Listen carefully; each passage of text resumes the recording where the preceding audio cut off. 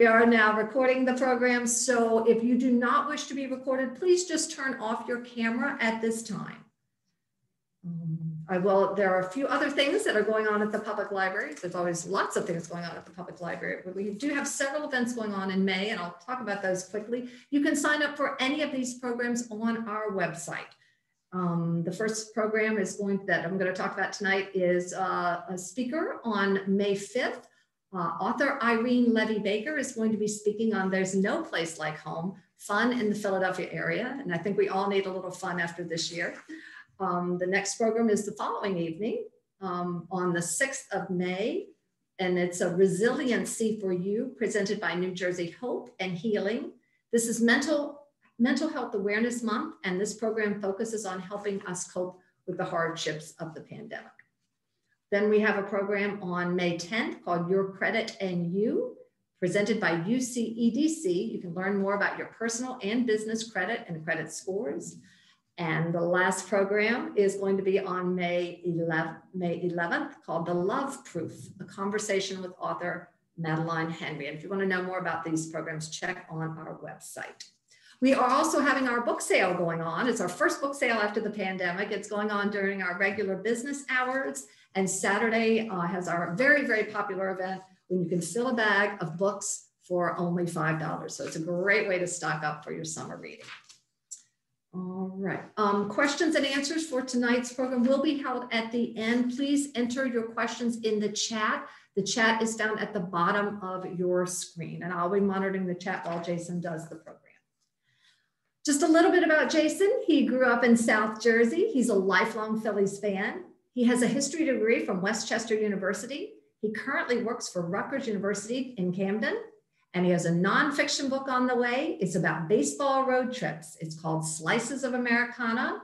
It's uh, published by Sunbury Press, and it's coming out later this year. So we're definitely excited to find out about that.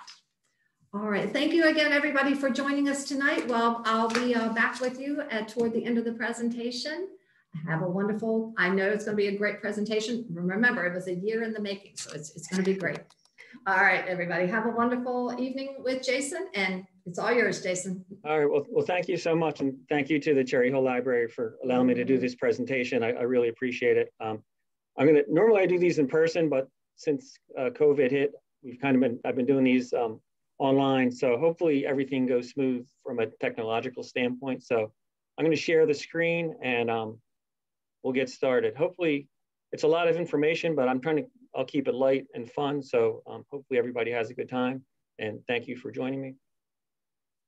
And it's nice that um, I'm doing this presentation following a, a, big Phillies win this afternoon. So if um, if you predicted this morning that Mickey Moniak and uh, Knapp were going to be the two guys that came through for the Phillies, um, talk to me uh, later because uh, I probably would want to invest in the stock market on, on your tips if you saw that coming.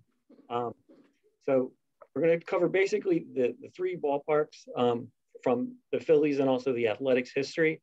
So we'll kind of get started. This is my uh, info. So afterwards, um, I'm always open to feedback, good or bad, because uh, there's always ways to improve. So my email address is jason.love at rutgers.edu. And I also have a very simple website. It's just talkingbaseballwithjasonlove.com it's more of just some baseball photos that I have um, from my trips, um, you know, throughout the years. And that's an old picture of myself and my little league team from probably like the early 1980s. So um, I was never very good at baseball, but I've always loved baseball. So we'll get started. So the Phillies, basically, just to give a, a very quick overview of the Phillies. Um, Jason. First, yeah. Jason, I'm so sorry. Apparently, um, we're we're not able to see your screen. So you can't see it. Let me just make sure that I'm giving you the controls. Yeah, you should have the controls to do it. Yeah. Oh, wait, let me see. Thank you to those people. I, I thought I was the only one, so thank you. Oh no. Okay. Let me try. Yay, this. that looks good. Sorry about that. Yeah, looks good. Okay. So there's my info again. Thank you for the heads up on that too. It would have been embarrassing going through the whole presentation without sharing the slides. Um, so my email address is just jason.love at rutgers.edu. And the website is talkingbaseballwithjasonlove.com. so just a little thing about the Phillies. Um, so they first played on May 1st, 19, or 1883. And they actually first played at a small ballpark called Recreation Park. And initially the Ru Ruby Red, Redlegs disbanded and the National League wanted a franchise. So they decided Philadelphia was a big enough market. So they relocated the franchise to Philadelphia. And they kind of struggled right out of the gate. Um, their first season, they only won 17 of 98 games in that first season, which is a, less than a stellar record. The first owner and founder of the team, his name was Alfred J. Reach. And there's actually a historic marker uh, of him right in Center City. He initially owned a sporting goods store, and he saw this as a way to help promote his business. Um, so he basically saw the Phillies as a way to help advertise um, the stuff that he was selling for his sporting goods store. And he actually died in 1928 in Atlantic City at 87 years of age. So there's just a, an old picture of Recreation Park. It was located at 24th Street and Ridge, and it could only seat about 6,500 people. Um, and as you can see, there was a lot of obstructed views from that with the, the poles and things like that. So um, it's not like the ballparks that we're used to today, as far as where um, basically have a clear view of the field. And one of the early stars of the, of the team was a guy named Charlie Ferguson. Uh, unfortunately, he died uh, at the age of 25. I believe he died from tuberculosis. So um, he was like their first big player. So the first basically uh, 20, 30 years, the Phillies kind of struggled. Um, they would not actually make the World Series until 1915. And you can kind of see some by the early photo there, some of the uh, gloves weren't even really the norm. And um, the uniforms didn't have like the fancy logos and things like that that we're accustomed to today. And their first season, they lost the game 28 to nothing, uh, which is actually one of the, the, the most lopsided game in the history of uh, baseball as far as a shutout goes. And um, that first year, they finished 46 games out of first place. And um, they did improve their second year, uh, where they only finished 45 games out of first place, but um, still not exactly uh, much of an improvement. As I mentioned before, their first game was May 1st, 1883. Um, they lost that first game, which would be one of many losses, as the Phillies were the, uh, the first professional team to reach 10,000 losses in the history of a ball club. And they lost to a pitcher named Charles Radbourn, who actually um, that year would go on to win 59 games himself, just as the pitcher. So um, back then they didn't really have the five man rotation that we're used to today. And that first game, 1,200 people came out to watch the Phillies play. So after Recreation Park, um, they moved to the Baker Bowl, and this was home to the Phillies from 1887 through the middle of the 1938 season. Um, so originally it was built of wood, um, but unfortunately when you build these structures of wood, um, they become fire hazards, and this one burnt down after eight seasons. And they actually moved to a newer ballpark, um, which was reinforced uh, as far as less of a fire hazard, and they moved there in 1895. And their first owner uh, was a man named William F. Baker. He never really had quite the, the money to invest in the team or the ballpark. Um, he was basically just kind of ran the team, but um, he really didn't have the, the means to um, bring in any star players or, or, really make it much of a competitive team. Um, he never wired a public address system and he never had like a separate press box for the reporters. And as you can see, during the whole uh, decade of the 1920s, uh, the Phillies did not have one uh, winning season. And I should mention too, in the early 1880s too, the Phillies, they're always known as the Phillies, but sometimes they were referred to as the Quakers as well. And just a little bit about the Baker Bowl. Um, it was basically known as what's called like a cigar box uh, due to its small dimensions. It was 340 feet in left, 408 in center. And at right field, it was about just under 280 feet, which is really short for a major league ball club. Um, so it's really tight as far as uh, in that right field. So what they did, as you can see on the uh, on the photo there, uh, they kind of build up the wall to try to cut down on some of the, the cheap home runs, but it still is really, really a small um, ballpark for a major league team. And another interesting thing too, the clubhouse was located behind the center field wall. So in today's game, the players kind of emerged, you know, from the back um, of the dugouts and things like that. So here, the clubhouses, they would kind of walk across center field uh, when the game would begin. And um, another interesting thing too, this ballpark never had lights uh, in its history, uh, hosting the Phillies. And just to compare to some of the other ballparks at the time, there was Hilltop Park, which um, was home to the Yankees, although they were referred to initially as the Highlanders. And as you can see the dimensions here, uh, 365 feet in left field, 542 feet in center, which is just outrageous as far as there's no one's going to come close to, um, not even Bryce Harper is going to hit a home run uh, that far. So as you can kind of see in this picture too, when they had overflow crowds, what they would do is uh, to sell extra tickets, they would invite fans to actually sit on the field and kind of rope them off. So you can kind of see in the outfield, some of the fans just sitting right on the ball field. Um, and center field, uh, right field is even deep too. It was 400 feet. So um, the one thing about baseball, each ballpark is kind of unique in its dimensions. So this ballpark would be considered uh, much larger than the Baker Bowl. And this one closed in 1912. So as I mentioned, uh, they never really invested much money in the Baker Bowl. It, initially, when it was built, it was kind of state of the art, but it quickly fell into disrepair. Uh, in 1903, the right field grandstand collapsed, and that killed 12 people and injured over 200 people. And then in 1927, uh, the right field stands collapsed again, um, and the ownership really just never invested uh, in, in the ballpark. Uh, one of the early stars um, in the early 1900s uh, for the Philadelphia Phillies, just to touch upon. That was Grover Cleveland Alexander. Uh, he pitched for the Phillies and later the Cardinals. And he averaged 27 wins per season for the Phillies, and he won 28 games in his rookie year. Um, unfortunately, the Phillies, this was right around 1918. Uh, um, the Phillies thought he was going to get drafted into World War One, so they didn't want to just lose him uh, and not get anything in return. So even though he became a Hall of Fame pitcher, uh, the Phillies traded him just to get something in his return. And he did eventually serve in World War One. Uh, he came back and he pitched uh, for several more years. Uh, and he retired with uh, 373 wins. And he's the only guy I know that he was actually named after a president, Grover Cleveland, and later um, future president uh, Ronald Reagan played him in the movies uh, in his life story. So um, that's the only ball player I know that has a, kind of a tie to two presidents. And he was inducted into the Hall of Fame in 1938. And an incredible thing too, he won more than 30 games six times during his career. So um, think of the Phillies today, I, am trying to think off the top of my head, the last time we had a 20 game winner um, probably has to go back to um, Roy Halladay. So we don't even get that many 20 game winners, let alone 30 game winners uh, these days.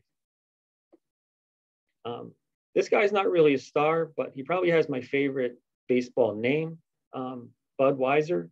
He played for the Phillies for two seasons, 1915 and 1916. And um, like I said, not really a great player. Um, hit zero home runs in his career and he batted 162. He eventually just returned back to PA. And um, in like cold country and played semi-pro ball. So um, I just threw him in there because I think that's a great baseball name. And um, I was at the game this past Monday, and I don't know if it was Budweiser, but it was Bud Light. But uh, somehow the fans started doing Eagles chants midway through the game. So um, I think that was more uh, attributed to the Bud Light they were drinking though uh, during the ballpark. Another interesting thing too about the Baker Bowl, um, it kind of this kind of changed the shape of the uh, what happens when the ball goes into the stands. So uh, at the time, if the ball was hitting to the stands, the usher would come over and the fans would turn it back to the usher and the ball would be thrown back into play. So at this time, an 11 year old kid named Robert Cotter, he caught a foul ball in 1923. And when the ushers asked for it back, he was so excited that he caught a foul ball. He refused and tried to escape with the foul ball.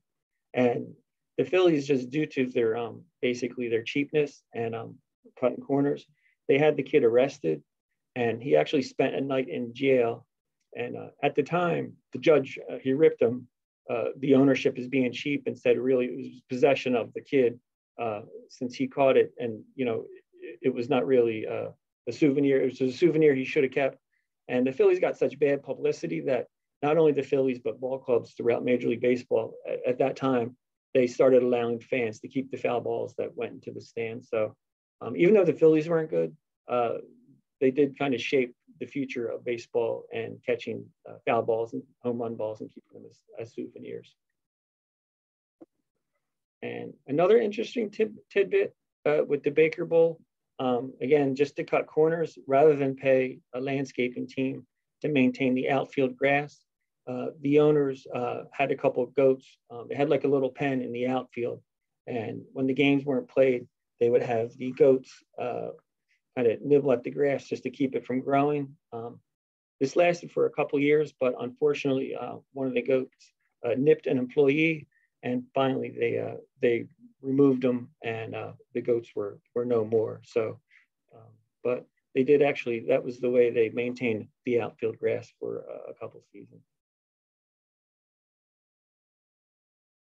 And as I mentioned too, just with the right field short fence, um, the owner Baker, he actually had the uh, right field wall increased to 60 feet uh, just because so many of the players, his own players, were hitting home runs, such as Chuck Klein, that um, they'd come back the next year and say, you know, hey, we hit so many home runs. Um, how about a bump in salary? So, in, a, in, an effort to, to suppress the salaries of his own players, um, he increased the wall to 60 feet, which, um, just as a point of reference, that's that's several feet feet higher than even uh, the Green Monster in, in Fenway Park in Boston. So um, it was uh, really just a, a unique feature uh, of this ball club. And another, just kind of a, another interesting tidbit that happened uh, at the Baker Bowl. So when you think of the Houston Astros and their cheating scandal uh, from a couple years ago, uh, with the banging on the trash cans to tip off their batters, uh, what the Phillies did, this was in the early 1900s, they had like an electro, electric box uh, where the third base coach would stand. And they had a wire from the third base box. It was buried in the dirt. And the wires would, would run to center field where they had a backup player sitting with um, binoculars. So he would steal the catcher's sign and kind of tap on like a telegraph type of thing. And through the electric current, the third base coach would feel it under his feet. And then he would then relay the message to the uh, player uh, at bat, who then would be tipped off of the pitch. Unfortunately, uh, so the third base coach always had to kind of stand in that same place in order to feel the vibrations under his feet. So at one time, a Reds player just kind of got curious as far as why is the third base coaching in the exact same spot every single play, you know, throughout the game. So between innings, he went over, kind of started digging, and then he found this box, and then he ended up pulling on the cord and then everybody kind of gathered around. The police came onto the field, um, big commotion, and then the the wire went right to the center field uh, bleachers where their coach was sitting there with binoculars. So they were kind of caught red-handed. Um, you would think with such a, a way to, you know, tip off pitches and things like that, it would help them. Um, but really, it, it, really had no benefit. I mean, I had a benefit to the players, but not really much to their win-loss record, unfortunately. the cost of the ballpark, it ranged anywhere from 80,000 to 100,000 to be built. I couldn't get the exact figure, um, but that was basically the numbers that I found as far as uh, you know, what it cost to build this. And there was a railroad tracks that ran right behind it. And um, one of the big features too was the Lifeboat, Lifebuoy soap um, advertisement that was in the right field wall. And um, a funny thing happened too. I guess it was in the 1930s when the team was really bad. At one point, um, so basically the the advertisement said the Phillies used Lifebuoy soap. Um, at one point, a, a fan snuck in uh, and graffitied the wall and said, where it says the Phillies used Lifebuoy soap, and he painted on the wall, and they still stink. So the Phillies kind of had to scrub that off um, just uh, before the next game started. So the Phillies did eventually make it to the World Series in 1915. Um, and this was the first time uh, in the World Series that was attended by a US president, and that was Woodrow Wilson. And that's him standing there about to throw out the ball.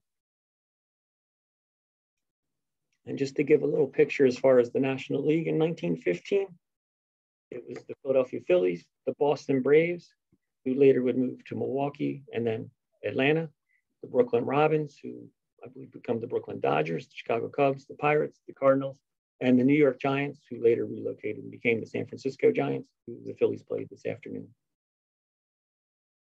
And the American League was the Boston Red Sox, the Detroit Tigers, the White Sox, Washington Senators, the Yankees, the St. Louis Browns, who eventually relocated to Baltimore and became the Baltimore Orioles, um, Cleveland Indians, and then the Philadelphia Athletics, who eventually moved to Kansas City for a few years and now are the Oakland Athletics. So in the 1915 World Series, uh, in game one, the Phillies went 3-1, um, but then the Red Sox uh, sweep the rest of the series, um, winning the World Series in five games. A lot of the games were close. Um, Grover, Cleveland, Alexander won the first game, um, but they just couldn't match the, the, uh, the power of the Boston Red Sox. So games one, two, and five were played at the Baker Bowl. Um, at the time, Shibe Park was built, which I'll talk to in in a little bit, and they were offered to play there because it was a larger ballpark. However, uh, the owner of the Phillies didn't want to uh, move the uh, the team, even though they could have sold more tickets, but he didn't want to have to share any of the profit. So that's just the kind of 1915 World Series. Like I said, um, the Philadelphia Athletics were actually the better team at the time. They appeared in the World Series in 1914, um, but by 1915, Connie Mack sold off um, basically all of his players. So the Athletics were not very good uh, in 1915, uh, where they lost 109 games. So it was really a crazy um, drop off. Whereas they're in the World Series one year, the next years they go on to lose over 100 games in 1915. So that year, in 1915, the Phillies were the better of the two teams. And another interesting thing in 1915, this was the first year that um, Babe Ruth, he makes his first World Series appearance.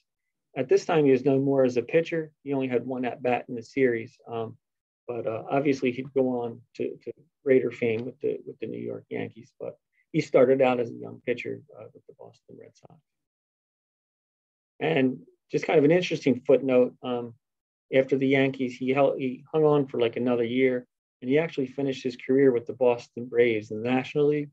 So this allowed um, basically his final game was played in Philadelphia at the Baker Bowl on May 30th in 1935. Um, but at this point, he really kind of knew uh, he just couldn't do it anymore. And he actually kind of just retired uh, mid-season. Um, and the fans kind of knew it at the end of the inning. Um, the fans that were in the ballpark kind of stood up and gave him a standing ovation, sensing that um, even Ruth kind of knew that his time was up and this might have been the last time that, that he was ever going to play a game. And just some quotes as far as about the Baker Bowl. Um, uh, Bucky Walters said, we could sit in this dugout and smell the peanuts in the stands. Um, that's just how close the fans were on, on top of the field. And um, I like this quote. Again, keep in mind the short right field wall. He said, if the right fielder had onions for lunch, uh, the second baseman knew it. That's just because how close they were as far as the second baseman to the right fielder. The Philadelphia Eagles actually played at the Baker Bowl for a couple years. Um, they first played in, eight, in 1933. Um, unfortunately, they lost just like the Phillies lost in their first game. Um, and they played at the Baker Bowl from 1933 to 1935.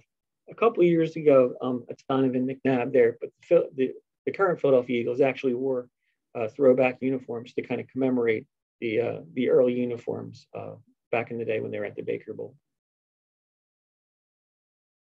So um, the Phillies, the, I should say, the Eagles had about as much luck as the at the Baker Bowl as the Phillies did during the three seasons there. They went 9, 21, and 1.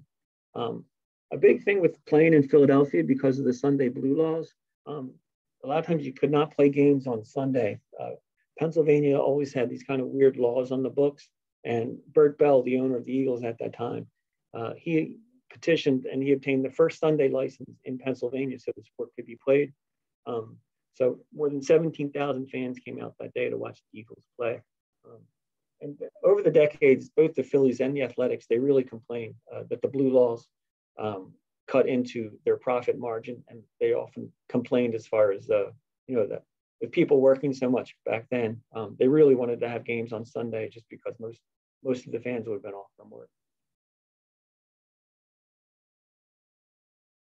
The Baker Bowl also hosted the Negro League World Series from 1924 to 1926. Um, the Hilldale Daisies, um, they rented the ballpark throughout the 1920s and 30s. Um, and unfortunately, the Phillies, um, they were one of the last teams in Major League Baseball to bring in a black player. They did not integrate until 1957. Player John Kennedy. Um, that's not him there. That's a, a, player from the Philadelphia Stars. But the Phillies, uh, they definitely were one of the last teams to, to integrate. Um, I think they were the last team actually in the National League to, bring in a, a black ball player. Just some of the attendance um, over the years. 1895, um, they brought in 470,000. You can kind of see the years that they were good, 1915, they brought in almost 450,000. But again, you can kind of see the attendance dip. And then by the 1930s, um, the ballpark was a mess and the team wasn't very good. So they, only brought over uh, a little over 200,000 fans. And this is just a, shot, a snapshot as far as what the population looked like back then. And as I mentioned, they, they really struggled throughout their early history. Um, they only had one winning season um, between the years of 1918 and 1948. So that's quite a long drought where the, the fans weren't seeing too much uh, winning teams. Um, and again, to just in relations to their um, lack of uh, competitiveness, they usually ranked last in attendance too. And in the last year, they only drew 166,000 fans some of the stars at the time. Chuck Klein, he was probably their best player for many years. He spent 15 years with the Phillies. Um, and he led the National League in home runs three times, and he was a career uh, 320 hitter. And he was elected to the Baseball Hall of Fame in 1980. Uh, won the NL, uh, National League MVP in 1932. That's a photo of him with Jimmie Foxx. And in 1933, he batted 368 with 120 RBIs. And then for whatever reason, the Phillies then trade him to the Cubs, uh, probably just to, to cut uh, costs. So they trade their best player. So their last season opener was in 1938. You can see the marching band marching onto the field. And as I mentioned before, the clubhouse is located back in center field. So you can kind of see that guy standing back there uh, watching the, uh, the band come on. So in the middle of the 1938 season, the Phillies just had enough. So they broke their lease and they moved to Shibe Park, which at the time was owned by uh, the Philadelphia Athletics. So they basically um, played in the same stadium or the ballpark as the Philadelphia Athletics uh, moving forward. And after the Phillies left, uh, the ballpark was converted to a midget auto racetrack. And in the winter, they used it as an ice skating rink. Eventually, the ballpark was demolished in 1950. Um, this is a photo I snapped. Um, there's a historic marker there on Broad Street. Um, it's located just north of Temple University. Um, so it just kind of commemorates uh, the ballpark that once stood there. So there's really nothing there now, just a couple like businesses and things like that. And just now shifting gears, um, we'll talk about the, the second uh, ballpark um, in the presentation. So the Philadelphia Athletics were formed in 1901. That's when the new American League was formed. And at the time, a bunch of National League players um, switched um, from the National League and jumped to the American League for higher salaries. And uh, the Philadelphia Athletics uh, were owned by Connie Mack along with Ben Shibe, and two sports reporters uh, were the founding owners. So initially, uh, the Athletics played at Columbia Park from 1901 to 1908. Um, but they were actually, unlike the Phillies, right out of the gate um, with Connie Mack's skills and the players they brought on. He was one of the early pioneers, kind of, of scouting players and signing, um, kind of finding these diamonds in the rough that, that became great ball players. So they needed a, a larger ballpark to meet their attendance needs um, right from the beginning. And that's Connie Mack too. Everybody kind of knows he's always wearing the suit and the tie and the, and the hat and things like that. So it was located at 21st and Lehigh. Um, the opening day was April 12th, 1909. And somehow 30,000 paid fans um, showed up to the ballpark, although the capacity at the time was about 20,000 people. So how all these people squeezed in, I'm not sure. Um, but that's how um, they're probably sitting in the aisles and sitting every which way as far as a standing room only crowd. And initially, they liked the uh, the Ben Shibe liked the location because it was close to the trolleys and the land was cheap. So he used what they call straw buyers um, to buy up all the homes in the area from homeowners um, to keep the prices low. And this is just a quote from Richie Ashburn. It had a feeling and a heartbeat and a personality that was all baseball. So it was built for around $300,000 and it was mostly an Irish neighborhood. Um, it was known as Swamp Poodle, um, also known as North Penn or St. Columbus. Um, and by 1912, Connie Mack um, bought out the other two partners. So that left just him and Shibe as 50-50 owners. Um, and you can see, as far as this is an early photo, you can kind of see too, like the Baker Bowl, um, you have a lot of obstructed views as far as posts things like that. So depending upon where you're sitting, there's a good chance you're going to have a post um, blocking your view of, of, the game being played. As I mentioned earlier in the uh, slide with the Hilltop Ballpark, when there was uh, an overflow crowd, um, keep in mind, so the owners at this time, their ticket, their revenue, basically everything came from ticket sales. Obviously, there was no TV, um, radio still in the early days, and um, they didn't really sell any type of uh, merchandise as far as hats or things like that. So everything came from the tickets. So when they could get people in, they kind of squeezed them in wherever they could. So, and as you can kind of see on the right behind the, the, the wall there, I have a better slide that shows it, but the homeowners across the street, um, they would sell um, tickets to the top of their houses. So the fans would, eventually they set up bleachers so the fans could um, sit up there and watch the game. They kind of made it their own little um, business as far as the way they run things, um, which Connie Mack didn't like basically because that cut into his profit margin you have the homeowners across the street um, selling tickets uh, to sit on the roofs to watch the game that he's you know putting out on the field. And that's a kind of a better picture as far as um, what the people did. Um, I'm not sure exactly how safe that is. Um, people are kind of sitting every which way. But they would kind of climb up um, through the house. And a lot of them, um, the families would even sell like hot dogs and, and drinks and things like that. So these fans here are all sitting on uh, the top of the houses. And they're able to actually see the ballparks. They would pay the homeowners. Um, eventually, Connie Mack kind of got frustrated by that. So he built something called spite fence. So he upped the fence, um, as you can kind of see in the picture uh, next to the Valentine beer um, ad, and that cut the view from the, the homes across the street. So basically, after that, they weren't able to sell the um, the bleachers on top of their houses. So it really cut into their little um, cottage industry that they had going on uh, to make a few extra dollars. So uh, the neighborhood referred to that as spite fence because really uh, Mack did it just to, um, he wanted people in the ballpark paying customers, not across the street uh, paying other people. And if you're at Citizens Bank Park, they kind of gave a little uh, tip of the cap to the rooftop bleachers um, over Ashburn Alley. That was kind of just a uh, a little remembrance of what uh, what once was over at Shibe Park. And that, that's a better photo on the right as far as uh, all the crowds mingling about. You kind of see people sitting every which way where these people had bleachers um, constructed on top of their homes looking into the, uh, the World Series.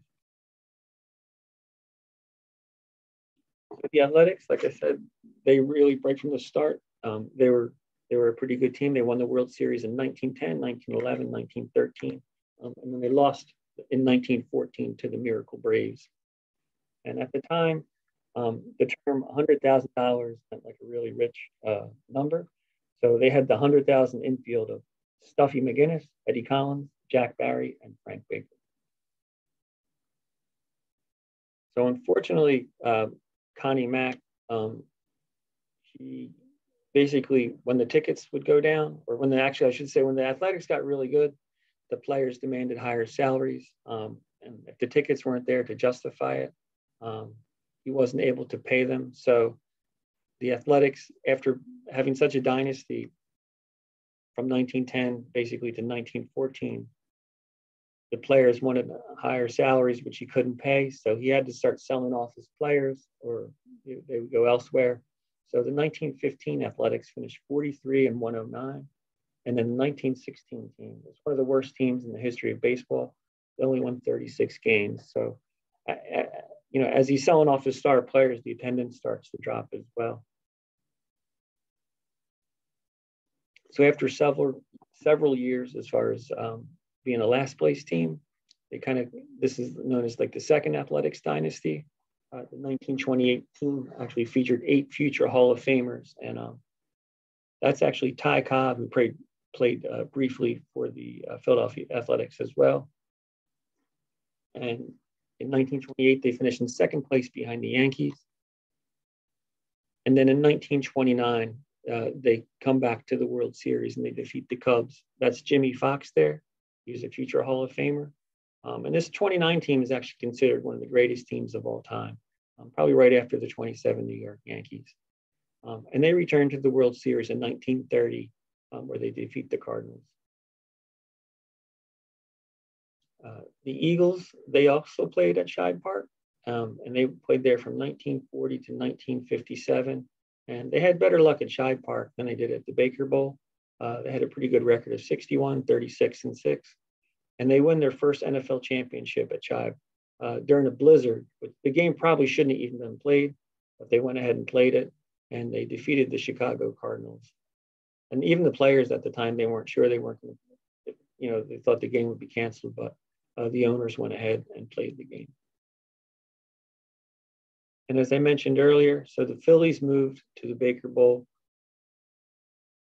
in 1938. So when you think moving forward, once the Phillies were there, sharing the ballpark with the Philadelphia, Philadelphia Athletics. So when the Athletics would be away, the Phillies would play there, and vice versa. So really, um, at Shibe Park, um, there was pretty much a baseball game during the summer um, every single day, just between the two teams sharing it.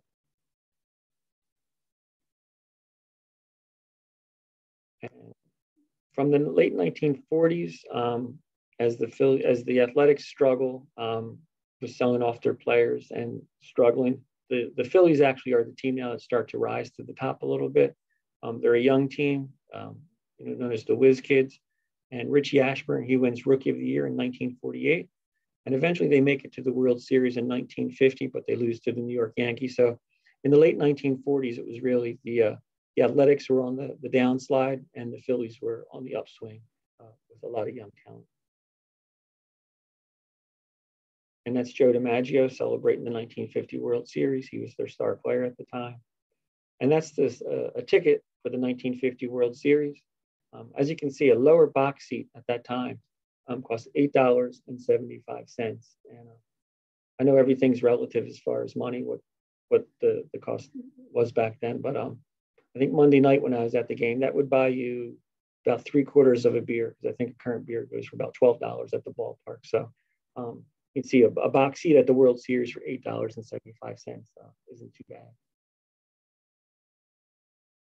And during this time at, at Shibe Park, um, it's later Shibe Park would be renamed Connie Mack Stadium.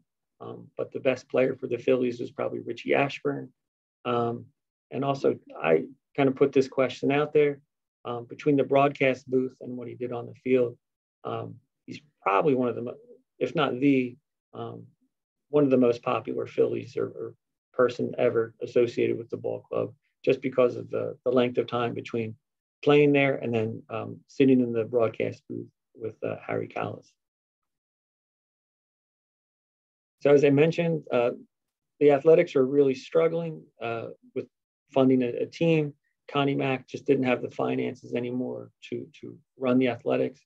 Um, so it's 1931 that basically after that World Series when the Great Depression hits, Connie Mack just didn't have, and Connie Mack too, the athletics was his only source of income.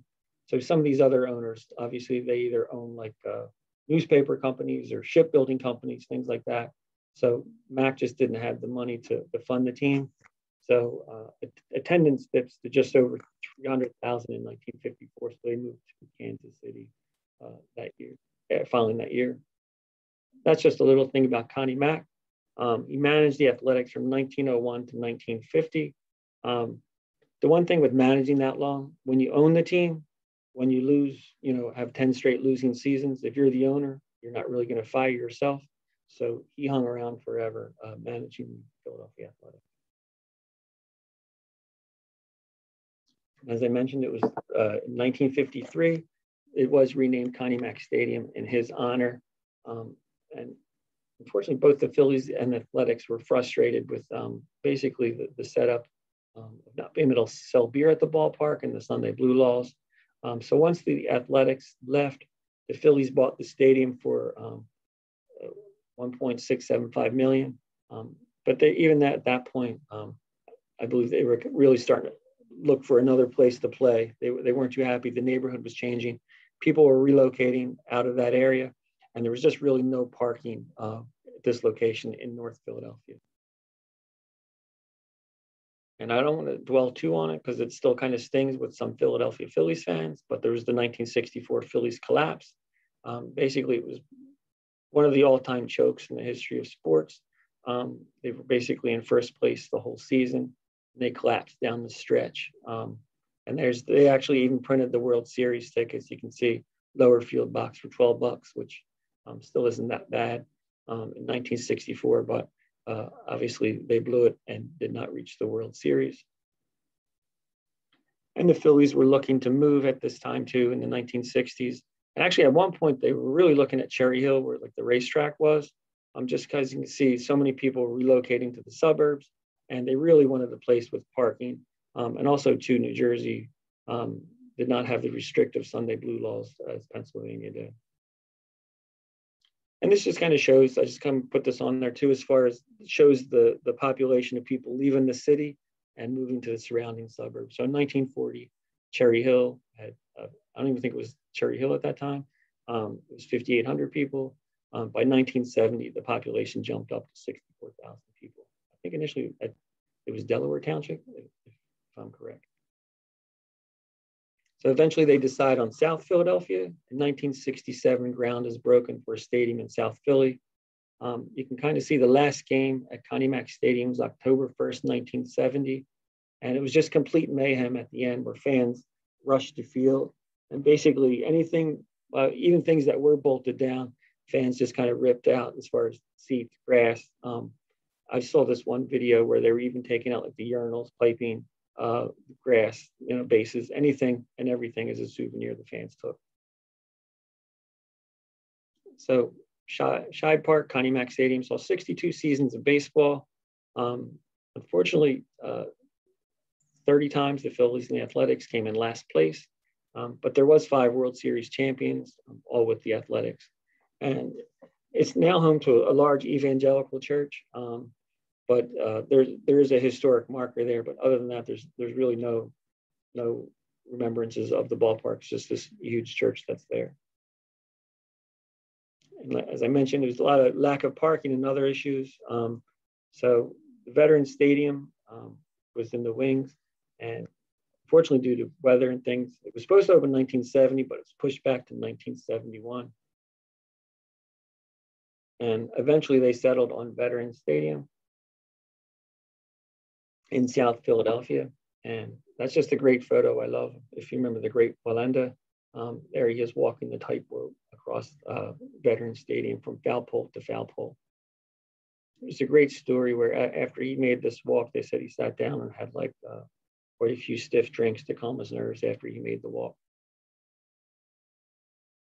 So there's just some early photos. Opening day tickets, you can get the field box seats for $4.25. 25 cents. And to the left there, um, you can see old uh, JFK Stadium and see how tiny the Philadelphia Spectrum looks. And then there's the uh, Veteran Stadium there. But look at all those parking spaces, which really is what people wanted um, to make easy transition in and out um, to the ballpark and not have to worry about driving around looking for a parking space. So the cost was about 45 million, um, capacity of 62,000, and those are the dimensions there. So I mentioned the Houston Astrodome. So at the time, the Astrodome uh, was kind of like the first one of these multi-purpose uh, stadiums where the, the cities wanted or one stadium that could host both football and baseball. So the Astrodome was kind of the first, and that was the first one to use like the artificial turf, which made the transition easier between the two sports. Um, so at that time, all these multi-purpose stadiums started to develop. There's RFK Stadium, which is one of those multi-purpose stadiums. I've seen numerous sporting events. Three Rivers Stadium, Riverfront Stadium. You kind of see all these stadiums, really, they all kind of look alike. There's not really much, uh, much difference between them. So at the time, the, the Veterans Stadium, it also hosted the Philadelphia Stars, Temple University, obviously the Philadelphia Eagles, Philadelphia Phillies musical concerts, um, Army Navy game. So um, the ballparks were never just for baseball anymore for, for many years. So the Veterans Stadium was the first to feature luxury boxes. And technically it wasn't a circle, but it was an octorad, which was kind of an odd shape, but that's the technical term of it. And opening day, the Phillies won four to one. And that was the first year Harry Kalas came over. Um, and basically it was great. He was uh, there to open Veterans Stadium and he was there to close it as well. And Larry Bowa got the first hit uh, Veterans Stadium. There was some upgrades over the years. Fountains were uh, added um, between the scoreboards. Then if you remember, Fan Vision was added uh, in the 1980s. And then they did away with those multicolored seats and just went to plain uh, blue seats after the 1994 season. Some of the marketing ideas at the time, uh, my favorite is the Philadelphia Phanatic was brought on. Um, and he was brought basically to bring in families and, and uh, kids to the ballpark and make it fun. One thing that probably wouldn't fly today, um, Bill Giles at the time was in charge of marketing. He rolled out what was called the Hot Pants Patrol, where you'd have young ladies wearing these shorts to help uh, people um, find their seats at the ballpark. But um, I don't think that would really work in uh, today's day and age. So the Phillies finally won their first World Series, and that was Veterans Stadium in 1980. That's Tug McGraw uh, from the final pitch. They defeat the Kansas City Royals, and that was the first World Series played entirely on artificial turf. Um, and that was the first since 1920 where neither team had previously won a championship. So the Phillies, at, uh, during their time at Veterans Stadium, they returned to the World Series again in 1983 and again in 1993. But for the most part, the team struggled throughout the 1990s and the early 2000s. Um, then as the Phillies get ready to make the transition uh, to the vet, they signed Jim Thome, uh, basically to try to generate some interest again in the ball club. And of course, I have to mention Mike Schmidt. I would say he's probably the greatest Phillies player of all time. I can't think of anyone who even really comes close. Three-time MVP, 12-time All-Star, 10-time Gold Glove winner. It's over 500 home runs.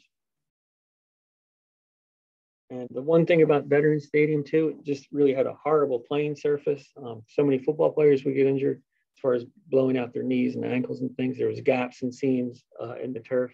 Um, as you can see, that's Andy Reid there is watching as far as um, right before a game. They had to cancel a game. Uh, it was a, a preseason game just because of the condition of the turf. So the final Phillies game was played on September 28, 2003. They lost to the Braves.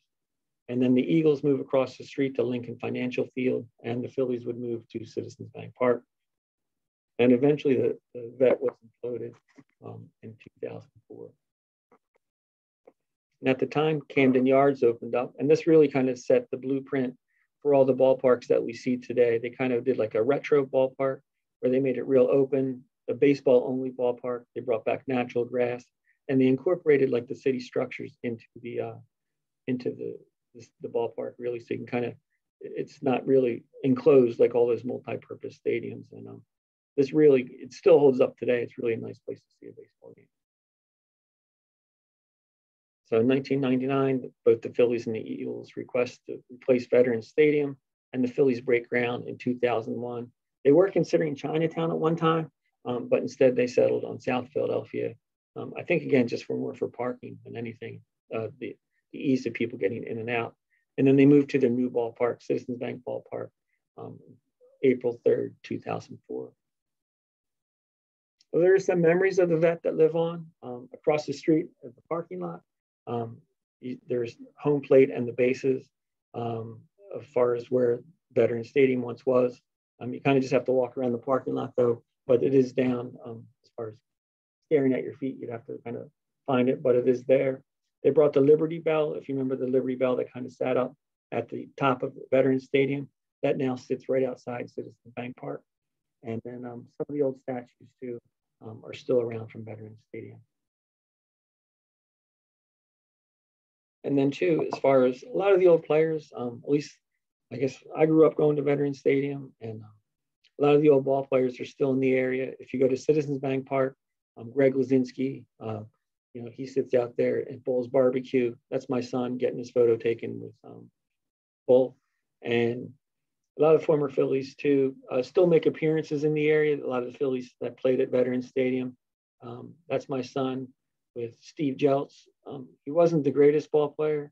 Um, probably wasn't even a mediocre ball player, but he was one of my favorite players as a kid. So um, he was in the area not too long ago. Um, and my son got a, a, picture with Steve Jeltz. So Mickey Morandini's still in the area. Um, a lot of these guys still make appearances, things. If, so if you grew up going to the vet, you can still uh, find a lot of these ball players. And I just added to, um, and this is one of the final slides. Um, if you get a chance, Google Tom Garvey's um, secret apartment. This guy actually, he just started making the rounds, but he um, he worked the parking lots at Veterans Stadium and somehow he got a key to the vet. And um, he created his own little secret apartment in the ballpark or in Veterans Stadium, I should say. Um, and he lived there for about two and a half years. And um, it was a concession stand that was closed, but he converted it into his own apartment. So if you get a chance, um, check his story out. He came out with the book um, a couple months ago. Uh, uh, a friend of mine, uh, Kevin, gave it to me, and uh, it's really a great read and um, definitely worth checking out. I don't know if I would personally with the, the, stray cats and things like that uh, that lived there, but um, it, it's an interesting story to say the least. And just in closing, some books you can check out uh, about some of the ballparks. Pouring Six Beers at a Time. That's a really funny book by Bill Giles. About some of the older ballparks is Lost Ballparks by Lawrence Ritter. And To Everything a Season. Uh, that's primarily about Shibe Park, but that's a great book as well. And then um, that last one there, that's just a shameless plug by myself, uh, my book that's coming out uh, later this year, if you'd like to check it out. And I think that's it. Um, so again, um, if you have any feedback or if you think of something or you just want to reach out, there's my email address. It's jason.love at rutgers.edu. Um, I have a website. I'm not very tech savvy, so I created that website myself. Um, so it's mostly photos and then some other uh, talks that I have coming up. But check out Talking Baseball with jasonlove.com. Um, again, it's mostly photos. Um, I drag my son around to all these sites because um, I love baseball history. And um, that's a photo just in closing. Uh, that's my greatest baseball moment, why I love baseball is the way it connects with um, sons, daughters, you know, parents, grandparents. The only time I ever caught a foul ball was at uh, Camden River Sharks Field, and I couldn't believe I caught it. Um, my son couldn't believe I caught it, but I gave it to him, and he was really excited. And it's just, uh, even though Camden, uh, the Campbell's Field's no longer there, just like the Baker Bowl, Shibe Park, and Veterans Stadium is no longer there. You know, I still have the memories of uh, catching the ball and um, he still actually has the ball. So it's just um, baseball is just for me. It's always been a great way to connect with the past and with family and friends and things like that. So um, that's all I have. So I'll open up to questions. Um, thank you everybody for uh, you know sitting in on this. I hope you learned a couple things and had some fun. And um, go Phillies! And um, I'll take some questions. I'm gonna stop sharing my screen. And thanks again to the Cherry Hill Library for for letting me do this tonight as well.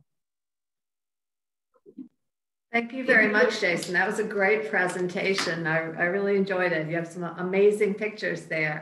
We had a, a, couple of great comments, I thought, in the chat. Somebody said how amazing it would have been if the Phillies had actually bought that property in Cherry Hill. We would have not yeah. have to go very far to see a Phillies game. So I think all of us were like, man, you know, we missed out on that opportunity. Um, a couple of other things. Uh, somebody had a question uh, a lot of nice comments in the chat. Let's see, somebody had a question. Um, I'm so sorry. What's your favorite old stadium based on your research? That's a, that's a great question. Thank you, Sonia. Uh, my favorite one, I would say, um, I would probably say Wrigley Field. I think that has a, a lot of character. um, and it, it's still in play. So um, Wrigley Field, just the, the personalities involved, the history of the ball club. Um, I would say Wrigley Field, although Dodger Stadium would probably be a close second. Um, I'd like to go see Dodger Stadium too, just more for um, just sitting out in the sun, enjoying a beer and some peanuts, and uh, you know, watching the Dodgers play. So I would say those two would be one A and one B. A lot of nice compliments in the in the uh, chat over there. That's great. Jason, I had a question. Um, the multi-purpose. Why did why did town or cities go to that idea of a multi-purpose with for baseball and for football? Was it financial? Was it um, and and I guess why did they go away from that concept? Uh, so a, lot of it. So in the early days, um, the the owners of the actual ball club funded the, the building of their of their you know field, be it football or baseball. So as it kind of shifted from the 60s and the 70s, uh, these owners of these teams kind of turned to the local cities to help finance the, the, construction of the stadiums. So in a way, I guess to kind of cut costs, um, the cities couldn't really justify, especially when you're cutting funding for like things like schools and art programs and you know things like that.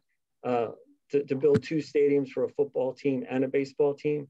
So they uh, they kind of made it these multi-purpose stadiums. Um, and then too, with the invention of kind of AstroTurf, that kind of made it easier to make the transition.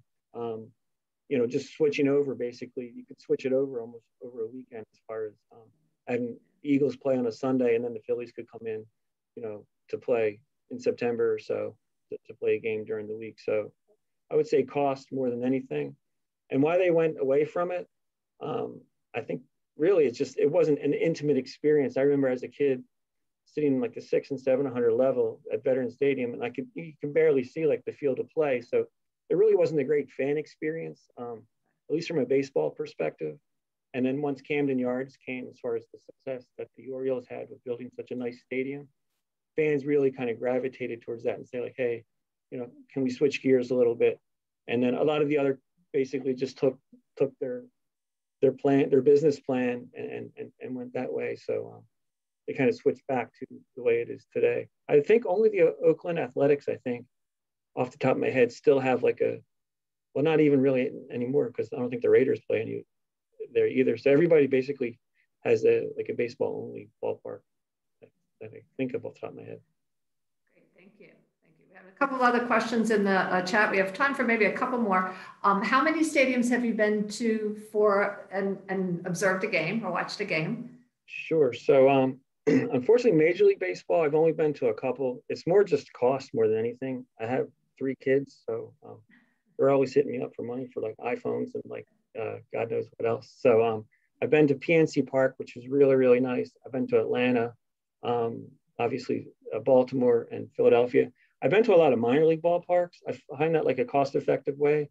Um, I've been to all the minor league ballparks in New Jersey. Um, if you want a really fun time, I would recommend like the Lakewood Blue Claws or the Trenton Thunder too. They both have really nice um, ball clubs. Lakewood's especially nice. My goal is once my kids are older and um, you know I can semi-retire, I'd like to basically visit a lot more ballparks get take an RV and go all around the country, right? I think that's I hear that from a lot of people. Um, a couple of things. Somebody mentioned that. Um, I'm so sorry I didn't get the name, but the person mentioned that um, there was talk, perhaps. Oh, I'm sorry. I think it was Irv said the um, maybe the vet was going to be put in Northeast Philly on Roosevelt Boulevard. Was that something that you are aware of? Yeah, they were looking at several locations. I'm not sure if Northeast Philly. You know what? I, I believe there was. Um, there that was one location, but they just it was so far off. I think from what I remember reading for public transportation and things, it just wasn't an easy way to get to. Um, so um, they were looking at a few different locations, but yeah, Northeast Philly was one, but it just it wasn't uh, feasible. And so we had a, a question, an interesting question. What uh, from Ellen? It was, uh, do they have a double home room, double home locker room at Shibe Park, or did they? Did they have a double home locker room? No, I think no. So it, usually every team would have its own. The visitors would have their own locker room, and then the home team would have their own locker room. Just because you're talking strategy and and, and you know game prep and things like that. So you don't want the guy that you're pitching, you know, batting to, you know, sitting in the locker room next to you. So they always had separate ones, I, I believe. I didn't know if anyone wanted to unmute and ask a question. Um, we have like about, um, about three minutes left.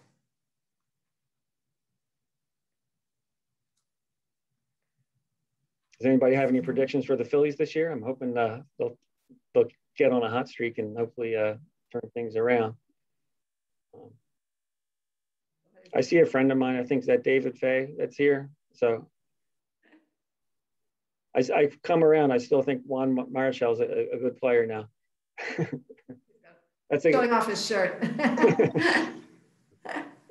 Somebody has a Phillies Phillies background. There. oh, nice. I like that. Uh, Oh, you guys can't unmute? Hmm, I don't know why. All right, you know, uh, my colleague may have set it up, um, so I apologize. Can you use the chat? I'm so sorry. I don't think I can unmute you guys.